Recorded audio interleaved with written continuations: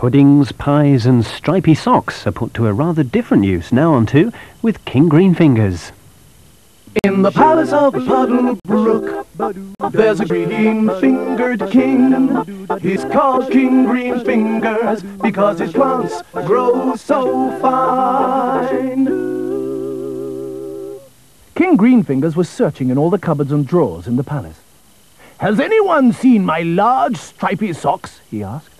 I need one of them to hang up for Father Christmas. There's far too much to do before we think about hanging stockings up, said the Queen Climbing Rose from the kitchen. There's the palace to decorate, the puddings and pies to mix, and the spare room to prepare for Queen Hollyhock. Queen Hollyhock was the king's favourite aunt. She lived on the island of Artichokia, and she was coming for Christmas. Princess Potted Palm said she would help with the puddings and pies. Queen Climbing Rose said she would sort out the decorations if Greenfingers would climb into the loft and bring them down. King Greenfingers fetched a ladder and a torch and climbed into the loft for the decorations. It's very dusty up here, he called down. Ah, here's the box. Oh dear, someone has left the lid off. He passed the box to Potted Palm, who took it to the Queen. She looked inside with dismay. Oh, dusty, she said. And dingy, said the king, shaking the dust from his robes. And eaten by a mouse, I think, said Princess Potted Palm, bringing out a shredded Christmas tree fairy. We can't possibly use these, wailed the queen. And the palace won't look Christmassy without decorations. We'll buy some more, said the king, and he and Potted Palm rang all the shops in Puddlebrook. Sorry, Your Majesty, everyone said. We're completely sold out. Oh! What are we to do? asked the Queen. That afternoon, a message was delivered to the palace. It was from Aunt Hollyhock in Artichokia. Greenfingers read it. Weather conditions appalling in Artichokia. Cannot make it for Christmas. See you New Year. Have good time. H. H. Christmas won't be the same without Hollyhock said Greenfingers sadly. Oh, decorations, said Queen Climbing Rose. Princess Potted Palm thought hard. Surely there was something they could do.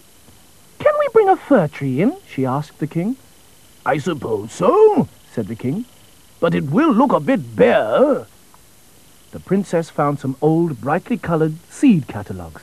They cut them into strips and made paper chains to hang on the tree. King Greenfingers stretched garden string across the parlour and hung evergreens over it. He found some red rosy apples and dangled them from the greenery.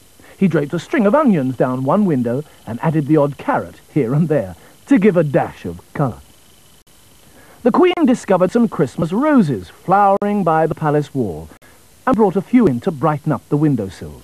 Then, gathering together oranges, pears and bananas, she made a holly and fruit arrangement for the dining table. Everything was beginning to look festive. Princess Potted Palm looked in her box of useful things that she had collected during the autumn. She picked out a pine cone, a large acorn, and some sycamore seed pods. She drew a face on the acorn and stuck it on top of the pine cone. Then she took the biggest seed pod and made some wings.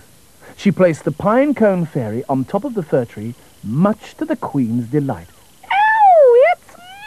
Lovely, she smiled, cheering up. We just need someone to share it all with now. How sad that Aunt Hollyhock won't be here. I know someone who would love to share it, said the king, going out to the potting shed. Only King Greenfingers knew about King Henry, who wandered the highways. When his kingdom became a bit chilly in winter, Greenfingers let him sleep in the potting shed. He was in there now, for Greenfingers could hear him snoring. His battered old hat was over his eyes, and his feet were peeping out of his tatty shoes. Wake up, Henry! We need you to share Christmas. There are puddings and pies and decorations. You can even hang up your stock. He was about to say stocking when he looked down at Henry's feet. So that's what's happened to my stripy socks. I quite forgot that I gave them to you last winter. And very cosy they are, too, said Henry gratefully. If you like, I'll lend you one to hang up on Christmas Eve.